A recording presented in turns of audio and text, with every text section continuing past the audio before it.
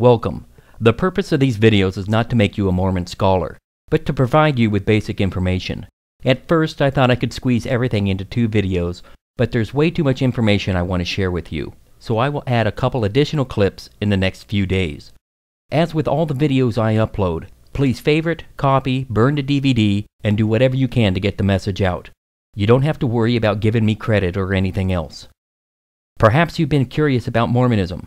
Perhaps you have friends considering the religion, or perhaps you are Mormon and you have questions about the religion. In all cases, my hope is that these videos will cause you to investigate further. You will look to the inerrant Word of God for answers. The Bible does not merely contain truth, the Bible is truth.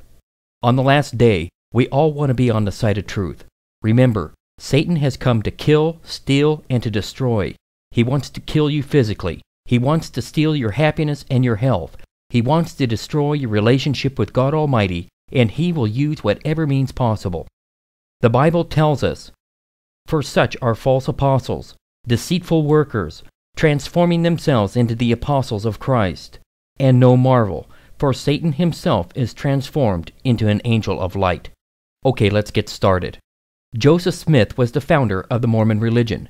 He was born in 1805, and in 1816 his family moved from New England to Palmyra, New York to escape their financial difficulties. Unfortunately for the Smith family, poverty followed. After 10 years, they entrusted their survival to treasure hunting by means of divination and folk magic. Now, folk magic refers to rituals, beliefs, and practices associated with occultism. So, we're not talking about stage performances here. This is not David Copperfield or Penn and Teller. Also, when I hear of divination, it immediately sends me to the prophetic book of Ezekiel.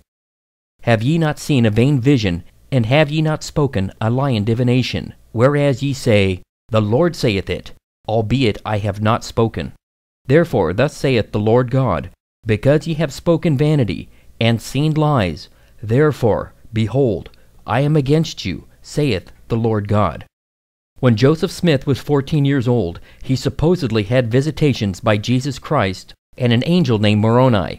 After several years of visitations, Joseph was told where he could find some buried golden tablets, which he translated into the Book of Mormon. There were only three major players who supposedly witnessed these golden tablets. The first was Martin Harris. Martin financially supported Joseph as well as working as his scribe. After Joseph was killed, disruption fell upon the church and a power struggle ensued. Martin and his allies rivaled against Brigham Young, who got the upper hand.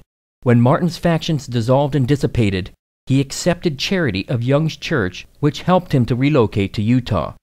Martin died a destitute and broken man in 1875. Next, we come to Oliver Cowdery. Other than being a supposed witness to these golden tablets and also worked as a scribe for Joseph Smith, the only real noteworthy statement I can make about him is that he was actually excommunicated from the Mormon Church.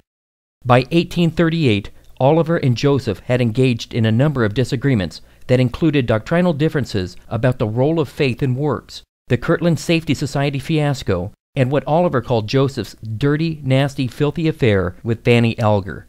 Fanny was the housekeeper for Joseph and his wife Emma.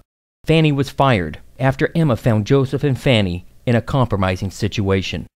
Apparently, Oliver did come back to the church after Joseph died and was rebaptized into the church and reaffirmed his witness to the golden tablets, but he did not hold any further high office in the church. Finally, we come to David Whitmer. David first became involved with Joseph Smith and the golden plates through his friend Oliver.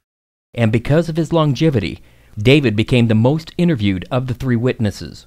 David gave various versions of his experience in viewing the golden plates. After the Kirtland Bank fiasco, confrontation grew between the dissenters and those loyal to Joseph Smith.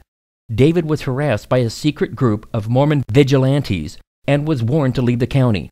David was formally excommunicated on April 13, 1838, and he never rejoined the church. Now, this is very interesting. David briefly followed a man named James Strange, who had his own set of supernatural metal plates.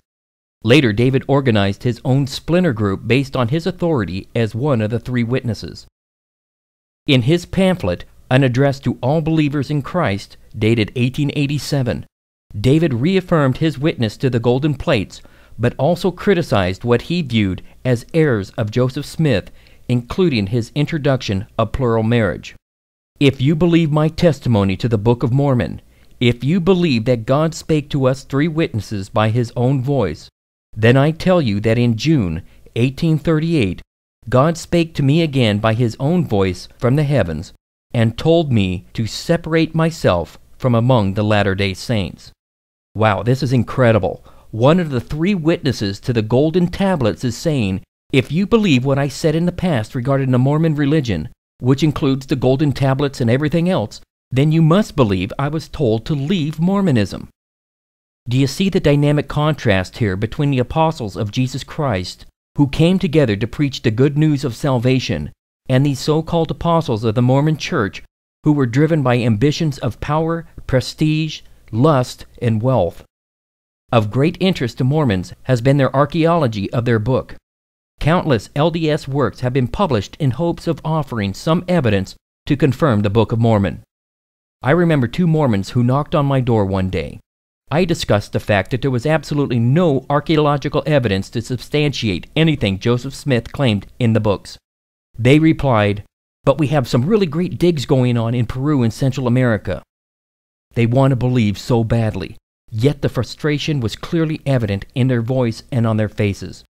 LDS scholar Dee F. Green has conceded as much.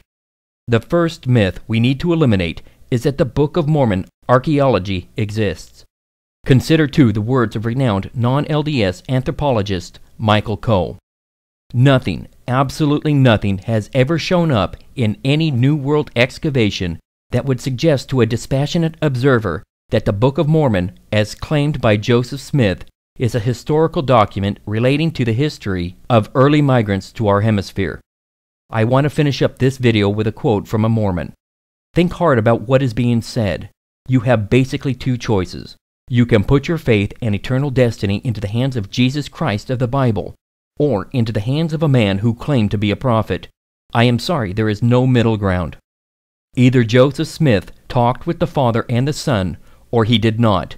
If he did not, we are engaged in a blasphemy.